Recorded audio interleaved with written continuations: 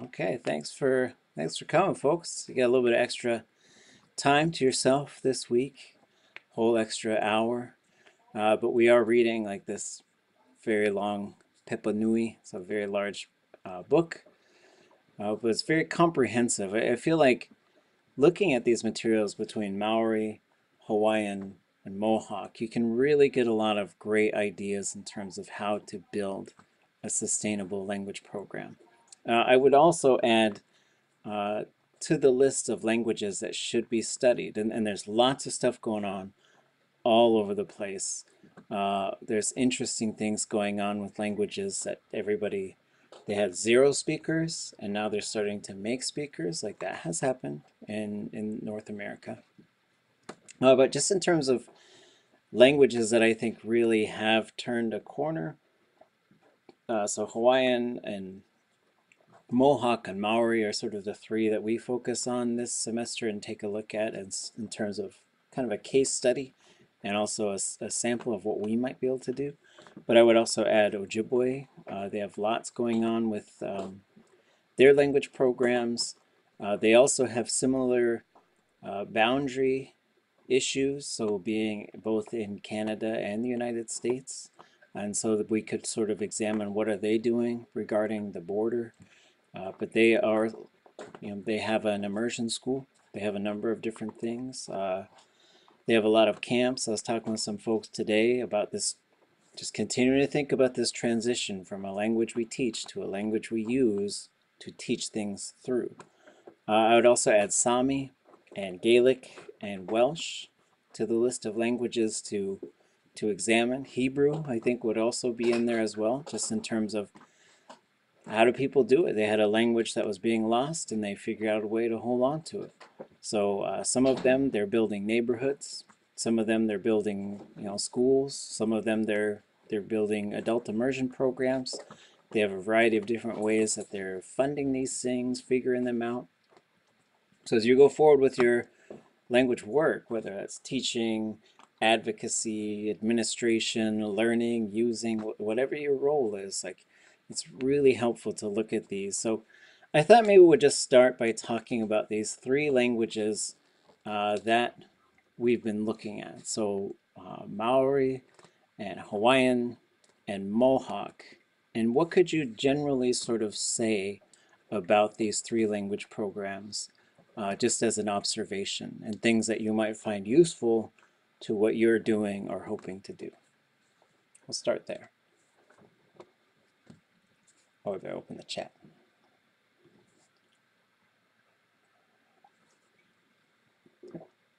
Oh yeah, Sound of Metal. Is that the one where the guy loses hearing? Yeah. That's great. Yeah, it was, it was cool. And they go to, he goes to like an immersion um, sort of camp and learns sign language and a whole bunch of other stuff. And I was like, oh, that's really cool. Just got me thinking of this class. Yeah, I mean, there's some neat connections because he, and and he kind of refused. Yeah, there, there was that was a good movie. It was, uh, yeah, it was good. But yeah, just in terms of like, and there's times when sign language can become a bridge, you know. So we talked about that as well, uh, and then also pushing, putting yourself into these environments. And I think one of the things that we could take from there, from that movie, is like a resistance to change, because I think something that does contribute to folks there's a lot of things that keep people from attaining high levels of fluency, but part of it could be a reluctance to change. It's like, well, I just want to keep being my same self and I want to keep doing my same stuff. But if if the language isn't there, then you can't just I don't think you'd be the same person and do the same things. And that's not a bad thing, but it, it's just sort of it's an interesting thing to think about just in terms of um, really being able to like communicate in a language and use it uh, with the level, with the high level I think that's required. A lot of our languages are very complicated. You get when you get to the high level stuff, it takes a lot of effort and energy even to figure out what is going on and how to do those things. And so, yeah, interesting. I think one of the things that really stood out was, you know, there's parts where, especially when he first uh, starts losing his hearing and he ends up with at this camp, is sort of the isolation of learning a language and you you feel so lost and intimidated around other language learners and it's about creating like the community to help support each other. And so I think that really sort of jumped off the screen. I don't think I don't know if that was their intention or not, but that's just something that popped into my head when I was watching it. Yeah. Wonderful. Anyone else? Other thoughts? Hawaiian, Maori, Mohawk.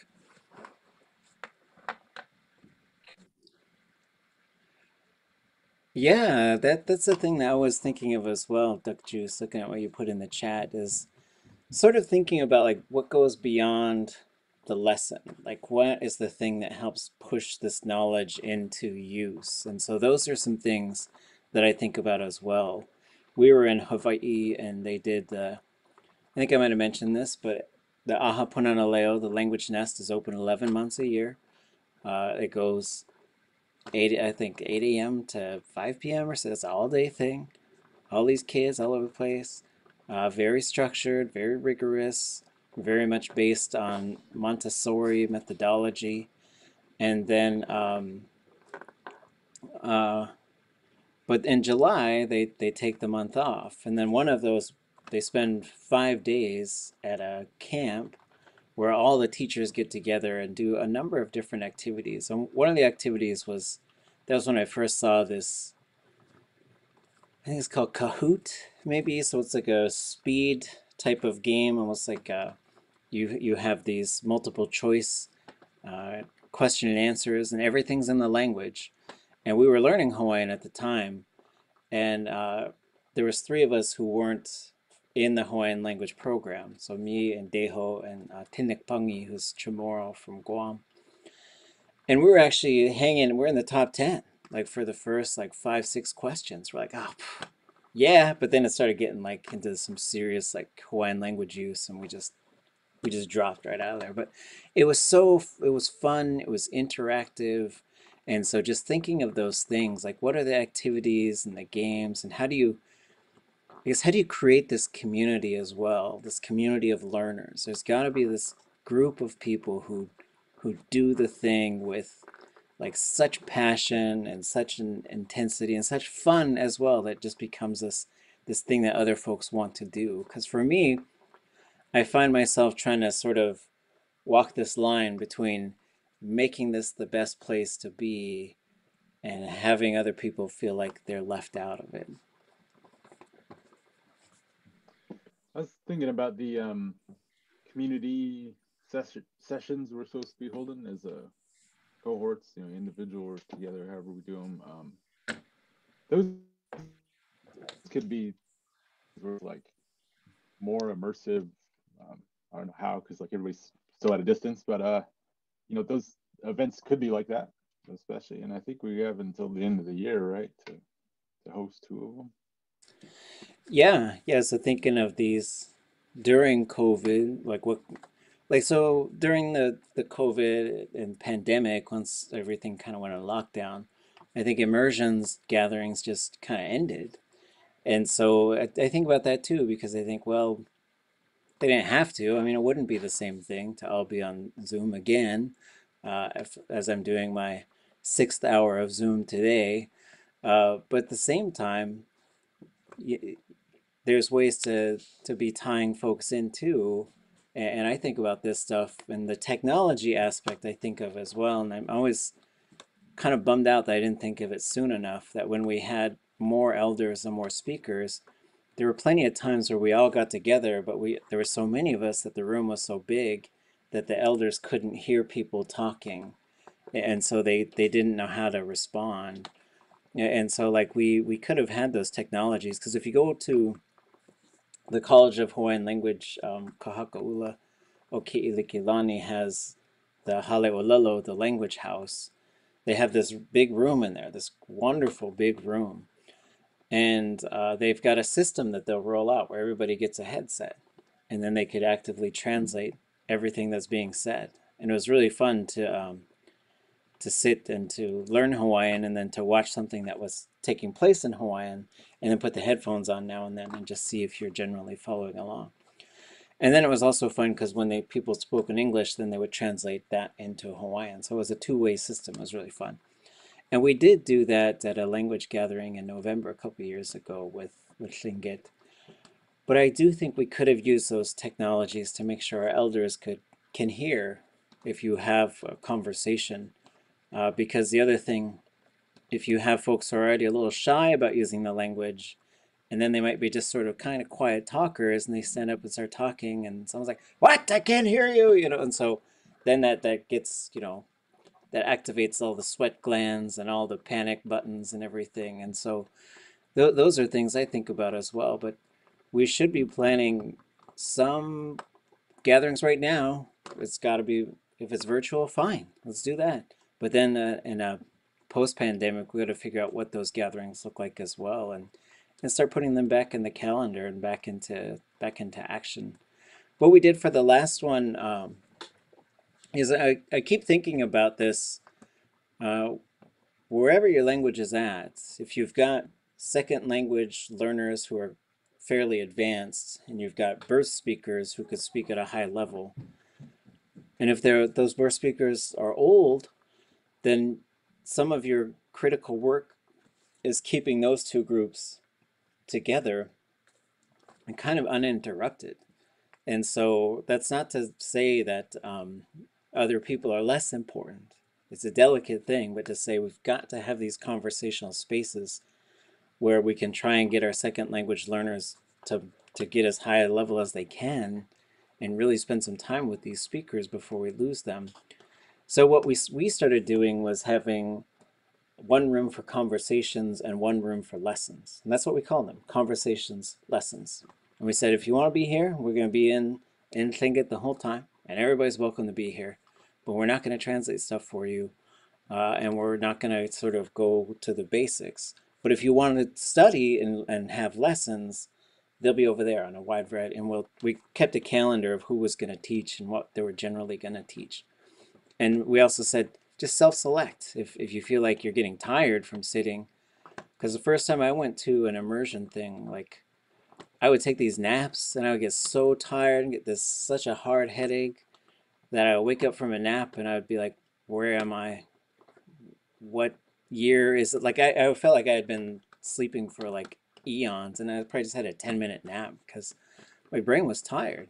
Because you put yourself in that situation where you can't communicate uh, it could be really trying.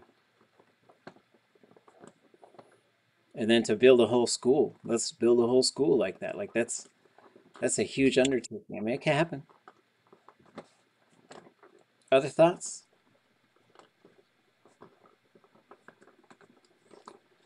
I feel like language exhaustion is similar to Zoom exhaustion in a way. Like like why is this draining so much out of me? And it really shouldn't but it like you're completely exhausted after both of them and then i think for this and I, maybe it is a lack of communication it, it is hard in the zoom platform too but so it's just i bet all the other scholars have all that double exhaustion on them from the two of it but it's encouraging to hear that that happened to you too um, in your process that it's just a normal thing because I thought, like, is it just me? this is hard work. And Robbie always says, oh, you guys are getting full and we just are stumbling over our words and time to do a story or something else. Yeah. Yeah, I think about this as well. Like we had a dedication for a building and we danced probably we're about six songs in and there's there's kind of just two of us who were dancing at the time. And maybe it was only three songs. I don't know. But we were dancing really hard. And then uh, Nora Dauenhauer, she said, You guys had enough yet? And I said, Yes. And my uncle, who was older than me, said, No. so we just, we kept going, you know. And so that's the other thing, too, is one is, is caring for yourself and caring for each other.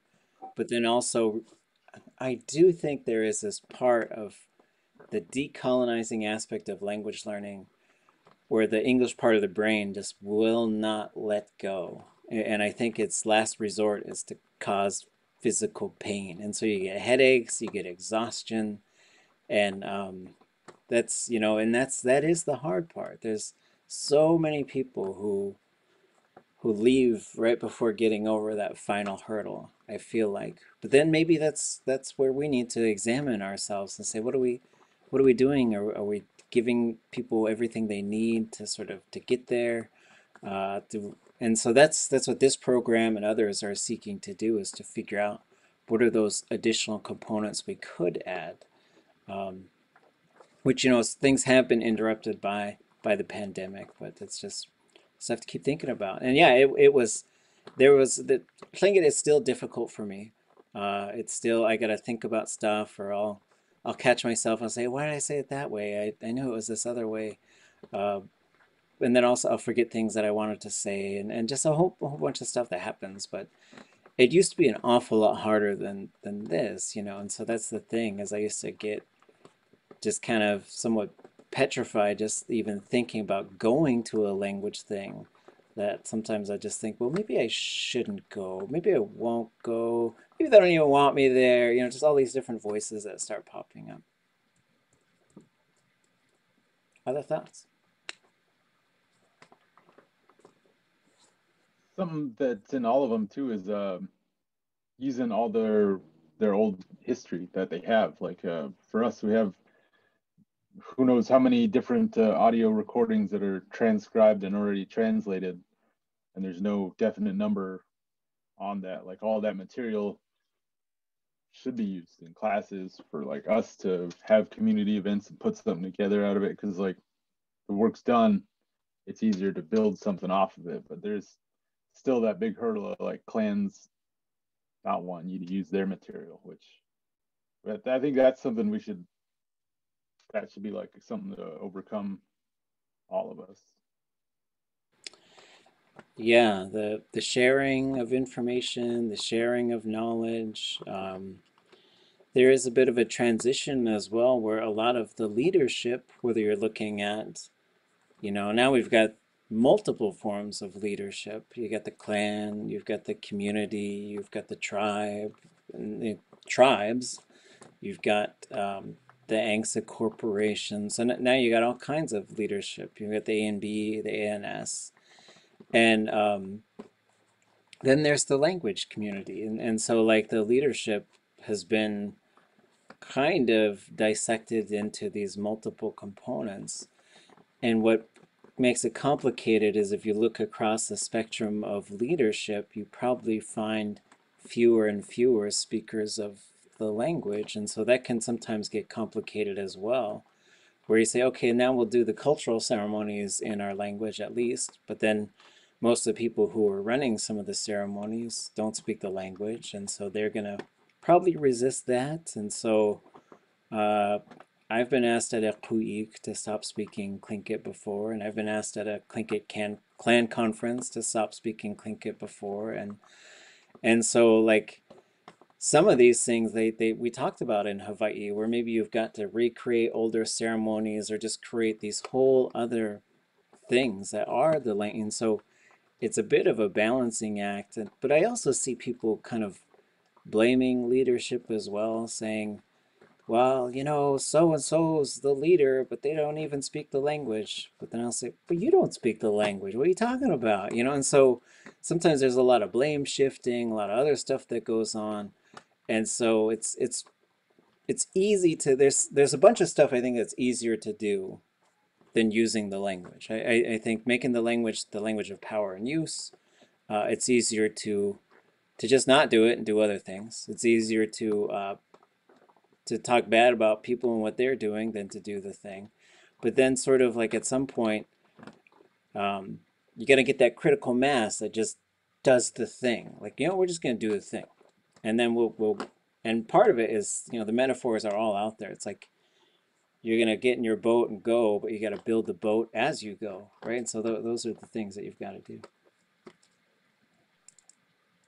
This is Sani. Uh. In responding to that, I really like this quote that came from a previous reading. And it says that it's a policy and it's from a California Indian tribe. And I'm going to read it just for a tiny bit. It states that without the ancient language, which is our ancestral languages, we cannot exist in the manner that our Creator intended. And I think a lot of our old recordings can offer us that some insight into the ways that we process things and understand different levels of what is around us and in our environment. So I think, you know, it would be nice if if all that was provided in that weekend and learn that. And so I agree with Herb that it would be nice to, to have access to all of that. And uh, in response to the other thing, uh, when I went to a uh, immersion program and we were there for 10 days, I noticed that when I came back, English gave me a headache. There is so much talking in the stores. Man, people speak English all the time. And in Tlingit, we were, you know, of course, you know, you couldn't you couldn't speak Tlingit, you couldn't talk. So there was a lot of quiet time, but maybe that was it. But I do think too that sometimes we get headaches for other reasons too, other than just learning. It's just like it's very loud. Maybe we're not used to the rhythm. There's a certain rhythm and tone and, and movement and process in our language. And, and English is is is more choppier. So I think it affects us differently. Yeah, right. And so that's that's wonderful. Yeah, I mean, it's similar as the elders used to talk to us as well, because they'd see how we're struggling and feeling bad, and they'd say, "Well, you know what? You just go back a couple generations, and it was the other way. Like our ancestors had to learn English, and it was hard for them, and they struggled, and there's couldn't make certain sounds, and and so they said, so it's okay, you know, and I think having these times to do that, and one of the big challenges that, that I find is um, sometimes we'll move into like these long lectures in, in English about the culture. And, you know, we need to get the culture right. But if we if we say, okay, we're getting together for one hour in the language, and if we spend 50 minutes just sort of talking in English about what we're doing wrong from perspective of the culture, then I don't know if that's succeeding yet. And then, but these are, you know, they're also difficult conversations because then I think, well, who am I to make that decision? But then at the same time, if I said, well, we came here, yeah, like I'm not going to name names, so we we we started this project in the community in Juneau where we said, okay, we're going to have these family language gathering times. And so we set it up and we advertised it and I went, I showed up late, I had to get, you know, kids fed and everything else. I brought my kids, they're pretty small. And I, I walked in and there were no other kids there. And then um, everybody was speaking English and talking about the, the, the clans and the culture, you know, it, it was clans and clan histories and it was important stuff, but it was all in English.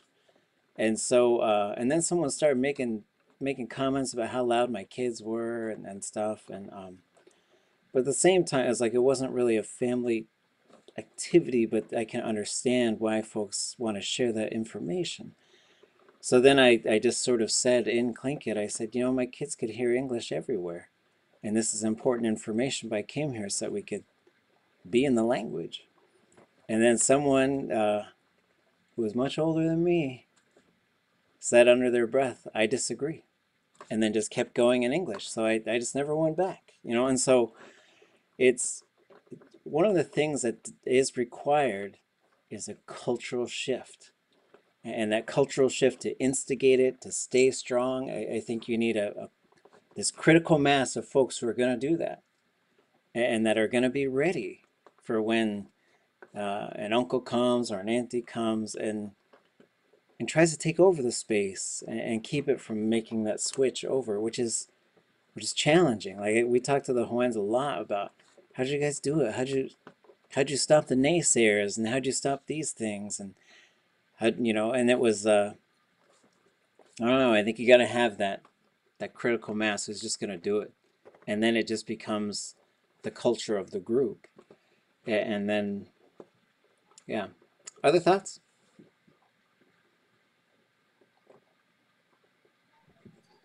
Um, I had a one thing that I noticed between specifically the Hawaiian and Maoris too is that they did a lot of work with the government. Um, you know, beyond just making it official, then they took the next step. You know, I mean, making it official language. Um, that was a huge thing. They uh, proposed to legislation um, new policies and stuff like that, and then they got the funding to support their languages or language. Um, and then another thing too was that they're very clear on their strategies that you know the documents that we were reading. And i thought it was really awesome that they included their strategies in their own language and english. Um, i think that's huge because we can all have like a language plan but they're probably in english. Um, so that was one big takeaway i got from it. But then also a huge part of their language programs are about the intergenerational transmission and they include the families. It's not just the eight to five school day, it's beyond that. And it's written right from the very roots of their programs into you know, how do you create language users, not just teach it in the school. So that was another big thing that I took away from a lot of the reading on those two. Yeah, and and you, we might be at a point where we've got to write most of this stuff in English and then have little snippets here and there. But then it, it could be something where like, okay, once we build this program, once we build our, our own fluency and the group's fluency, this thing, like you want to distinctively, you, you want this document that totally comes from the thought world of the language as well, which is, which is interesting. And, and then it, like uh, one, one thing I really appreciated in Hawaii was these discussions about, you know, they, they kind of just said at one point, they said, don't fear English. Don't fear it. Like you, you got to figure out what those realms are going to do. Because a lot of these politicians, don't speak Hawaiian. But they're going to go make these changes that are going to make it possible for us to do all these things. The one thing that they had, which I do wish we did, is this big groups of parents that would just go protest by what looked to me like the hundreds. I don't, I don't know. They had they brought signs. They said we're not we're sending our kids to Hawaiian school. We're to build that school. And, and I don't know how we motivate, I don't know how, I don't know how, I don't know how we get our people to, to draw the line like that and to not cross it and to, and to demand those changes. But, but maybe our route is different. Maybe our route is a smaller route that, you know, because at the same time, I, I feel like there were attempts and there were large groups of people and there, there were efforts, but in Alaska they had they could silence them more, you know, because maybe, who knows, you know, um, it's a different place. Like, you know, Hawaii is, uh, it's just a different place, right? Uh, and so as, as we look at that, but how they did it, there's still a lot of similarities. And I think as we keep going forward, we just keep building these relationships and working with them.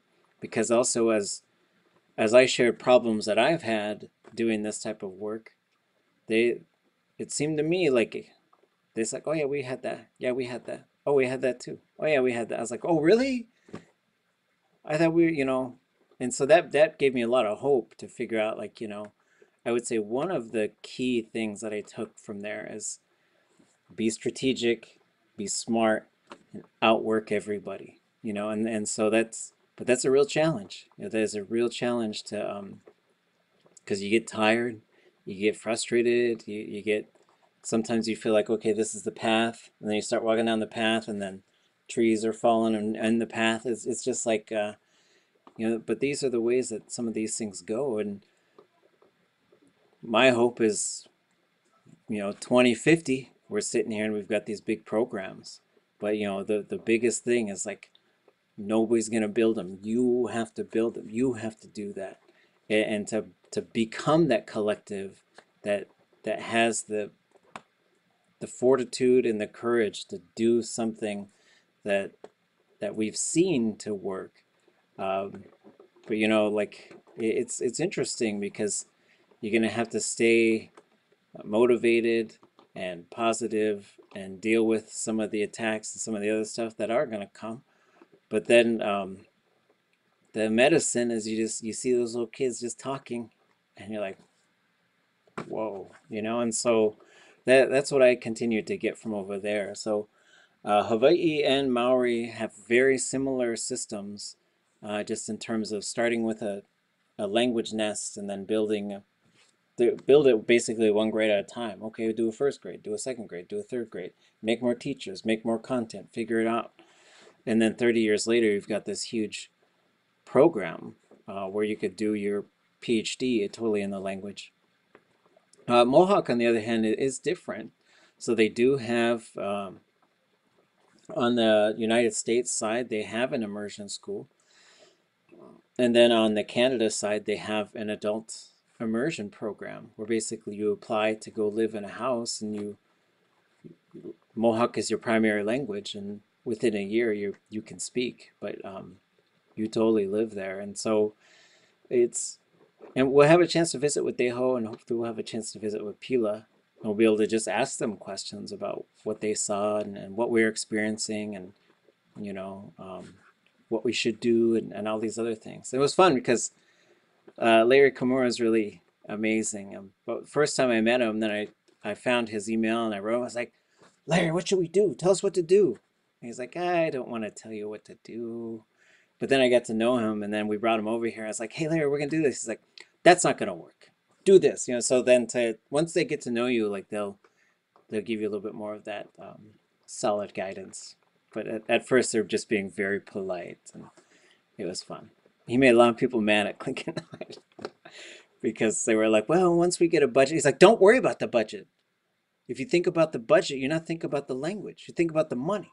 And they're like, but we need the money. He's like, don't think about the budget. so it was fun. Okay.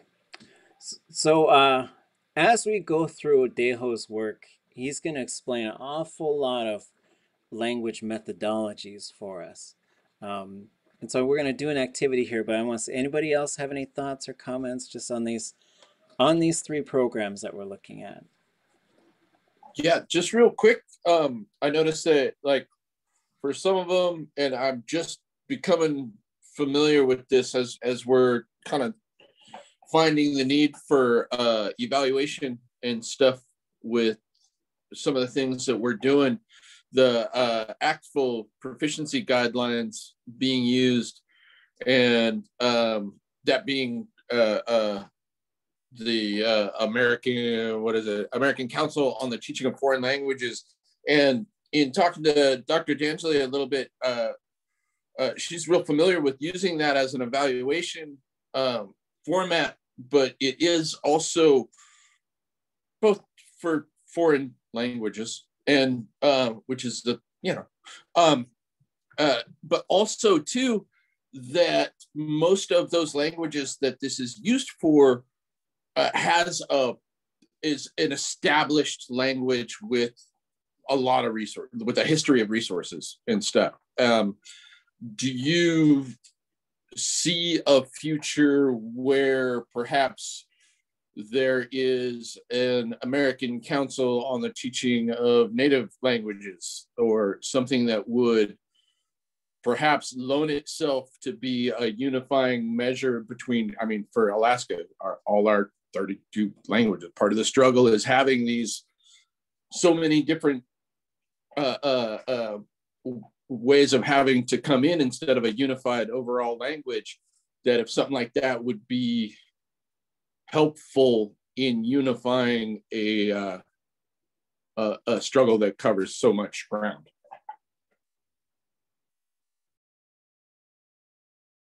Yeah, that's a great uh, that's a great question.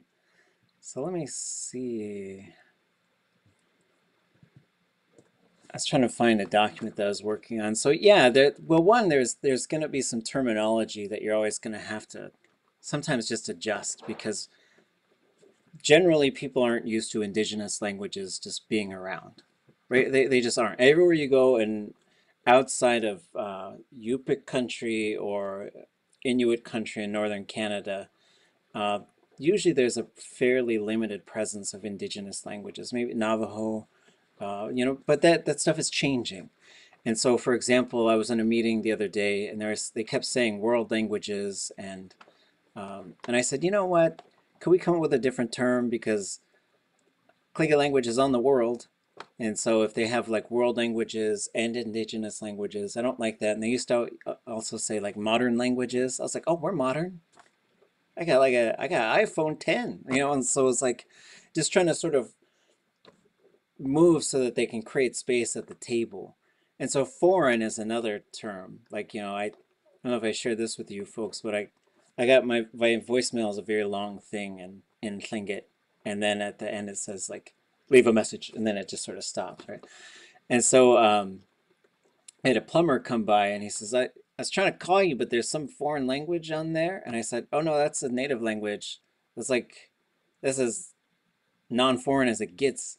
He says, Well, it's foreign to me. I was like, ah, you know, but even though it's, and so maybe that needs, you know, the American Council teaching second languages, you know, and so we changed the UAS catalog. It doesn't say world languages and doesn't say modern languages. It just says non-Alaskan languages, right? And so that's what we settled on. But I, I do think that there would be some work to do that. Um, and so if we look at, I guess I'll just share this with you folks. This is as close as I can get right now. But if we look at what does ACTFL uh, do, uh, let me close that. So this scale um, goes through uh, novice, intermediate, advanced, superior, and distinguished. I think if you haven't created like actual advanced speakers of your language, I don't know if you can actually measure people. You could just, you can tell when they are there, but you probably can't measure things above that. Um, but basically, folks that can memorize stuff but can't make stuff, right? That that's kind of where you're at with here. Here you can start to make stuff and do some basic conversation, day-to-day -day things, but you don't understand everything. Advanced means you could pretty much interact uh, in all kinds of time frames and you do narration, you can understand most everything that, even if you're not getting it sort of like, maybe you're not technically 100% on in terms of how, what they're referring to, but you know, you know exactly what they're talking about and generally what's, go, what's going on. Getting up to these levels is you could do it all. You could do all of it. And so you got basically uh, within here, low, mid, high, low, mid, high, low, mid, high. And so, and then up here. So you get like this 10 point scale. And in this case, you can have 11.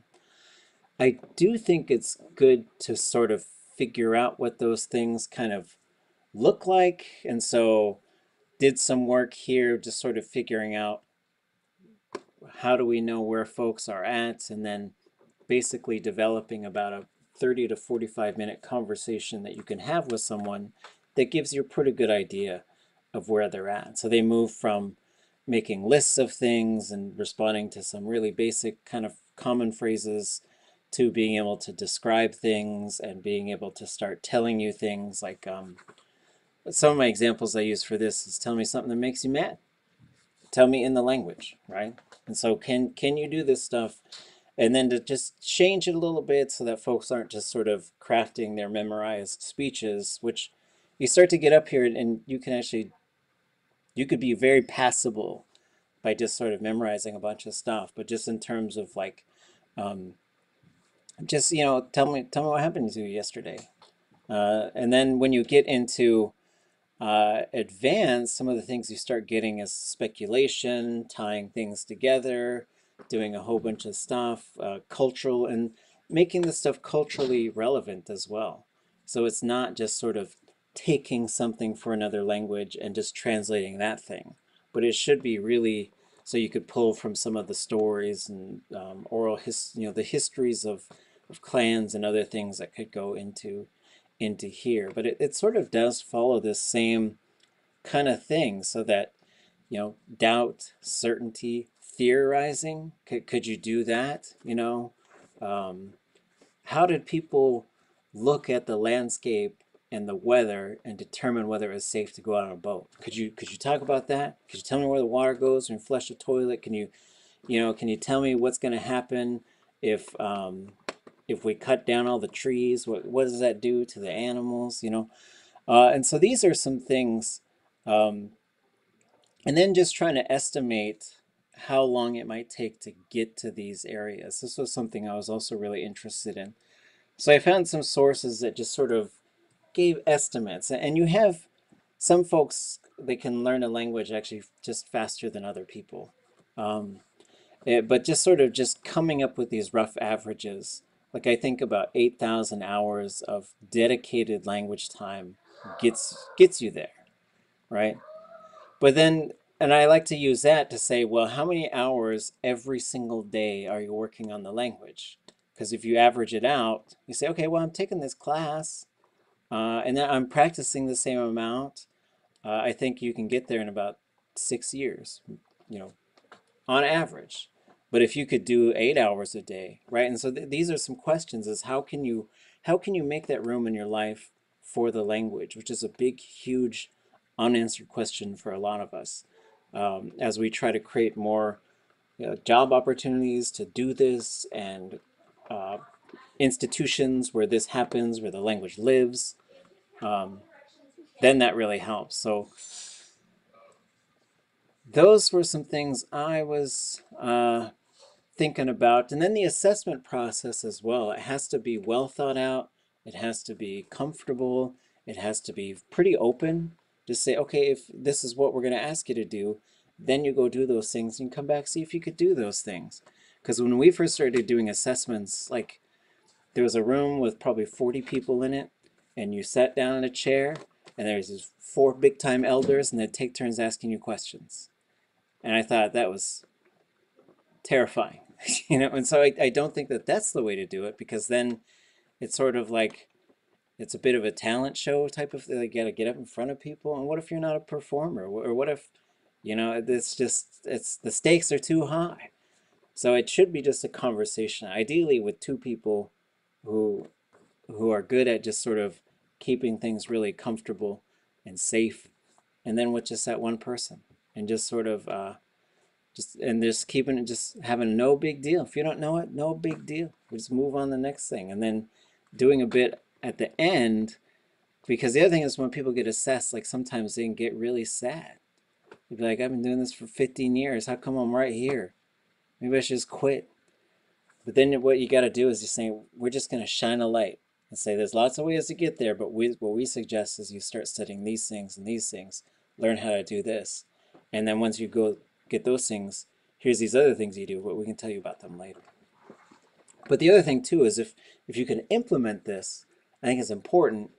I think the other important thing is in, in Southeast Alaska anyways, we're status people. Like, you know, like how come they give the intermediate people like a badge or a blanket or some leather jackets and just, you know, like celebrate them.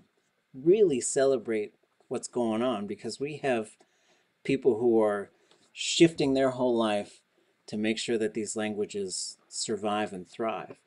And I think make it the coolest thing to do and uh, give them something awesome, man.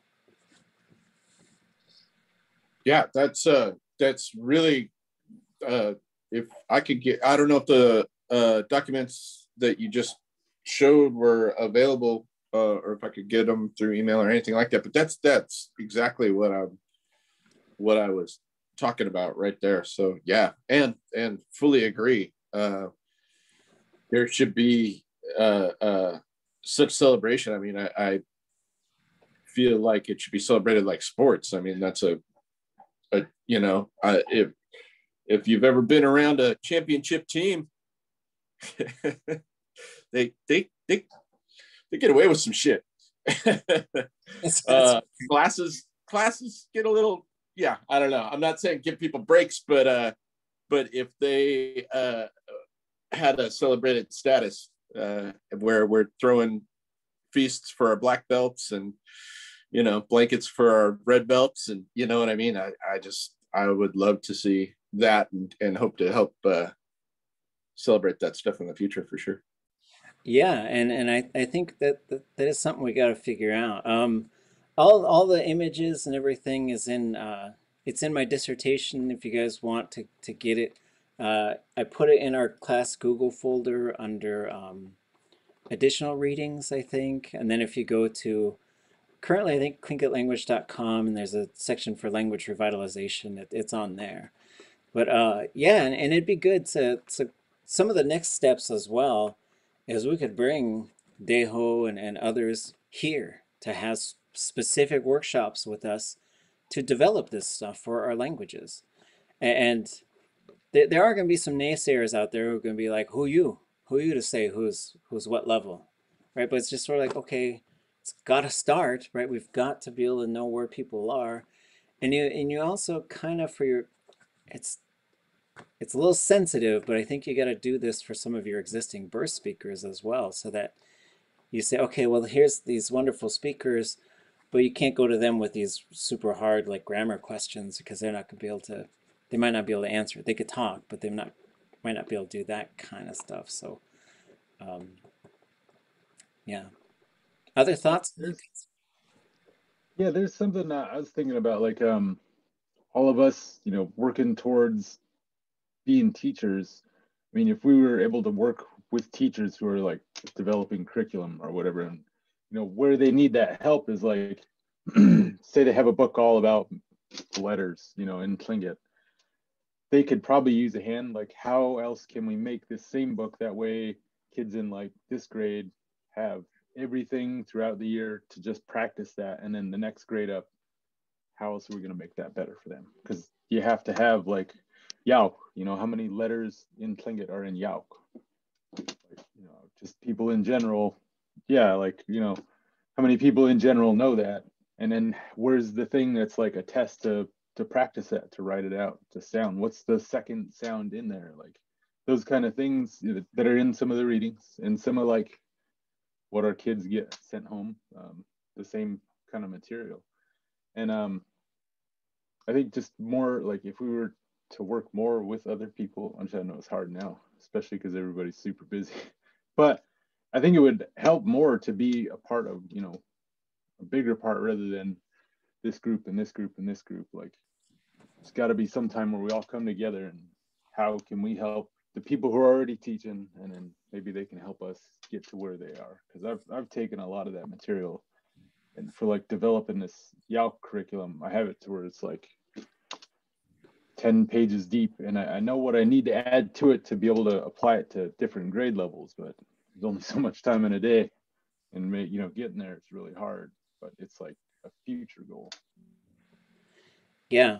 Right. And, and so uh, a lot of this is coordination, right? And then also figuring out like, what's the next thing? And, and with this methods and materials, like a, a big part of it, and we're going to do a few activities um, before we're done here is how do you keep track of everything you've got? And how do you make sure you're filling the needs of, of what's there? And one of the things that um, uh, put in the chat that's uh, that the Mohawk have is something that there's a group in, in based out of Atlin, and a lot of them are in Whitehorse right now, and they're developing language materials as well that base around these central stories. And what's really neat is they sort of boiled down some of these because whenever you get into the stories in our languages, they're usually they're big, they're complicated, and that's what they should be. But then I think you got to make some sort of the the essential versions, like the the the the vinegar that gets sort of boiled down to this real condensed version, right? I, I don't know how we think of it, but like it's essentially like kind of a kid's version, right? And we don't want to insult anybody, but you we're we do I do this a lot. Like let's look at this story, and then it's like super complicated. Everything in there is complicated. The the concepts, the language, the grammar, like everything is complicated. So maybe like doing some smaller versions and then building up to the bigger versions of these stories and having people memorize them and having people reenact them and, and doing lots of stuff to to really internalize this stuff so that, that you've mastered that story and then when you hear this longer, complicated version, you're like, then your brain's just trying to put together these extra pieces because it already knows what's there. And so I, I, do think that's one of the things, uh, one of my colleagues, his name is Shkuyech, he really wants to build a set of speeches and stories that are foundational to language teaching. And so that for some people, they might get frustrated because like, I want something new, I want something new. But sort of like, you have to master this. And so moving towards like the mastery of something, the application of it, and then, you know, for example, like if you're bored of this story, stand up and tell it to me in the language. And then maybe we can move on to something else. And so that that's the point. And so yeah. So uh what we're gonna do, so keep grinding through this book. It's it's a lot, but this is a, a great scholar, and, and also uh, something is I think the Hawaiian use the Montessori method of education, especially early childhood education. It's a Montessori program. And that's a whole educational philosophy. So some of the things like they're doing literacy at a very early age. The kids are writing letters. The kids are making all the sounds.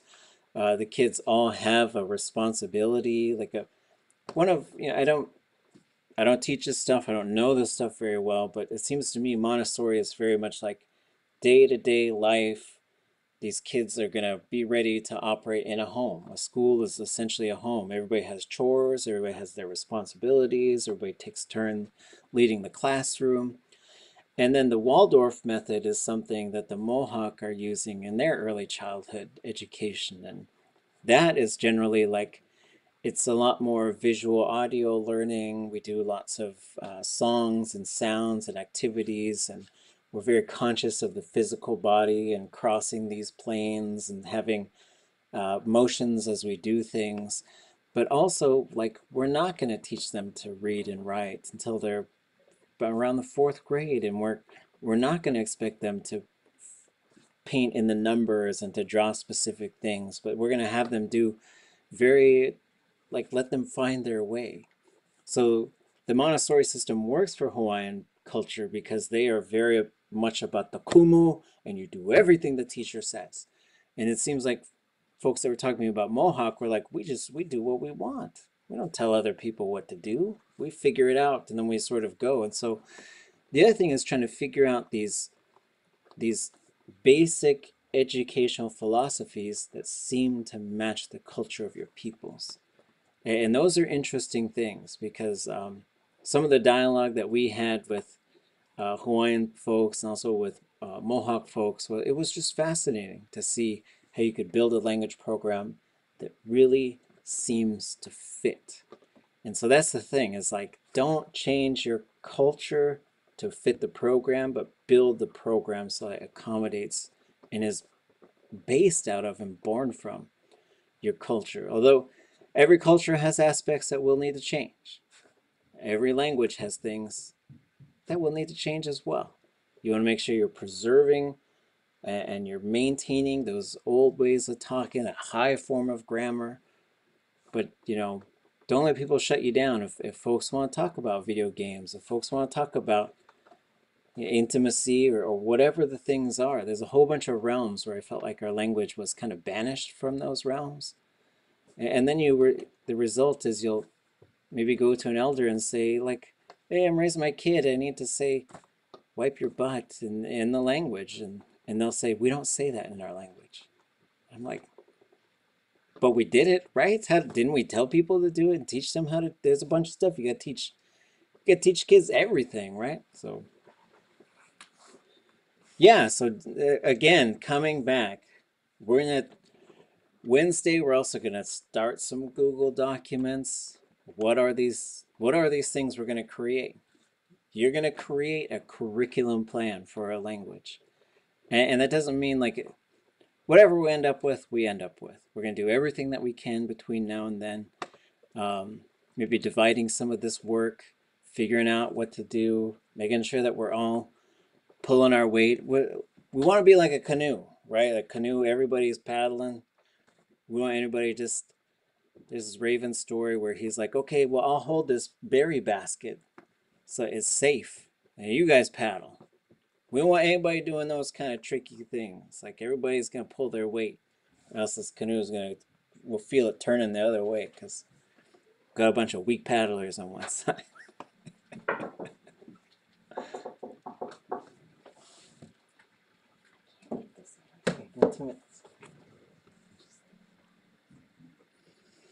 Okay. Thanks for being flexible this week, folks. Uh, power through this reading. Uh, what we're going to do on Wednesday is we're going to do a little interactive activity first, mapping out. Uh, what I want you to do is just do a little bit of thinking. What are all the different groups of people that you think we should be teaching the language to? And then within those groups, you know, for example, preschoolers elementary you know, like maybe it's age groups, but maybe it's just sort of folks. Like we, we might have people who are uh, who who live somewhere else, but they're from here. We want to make sure they have access to the language.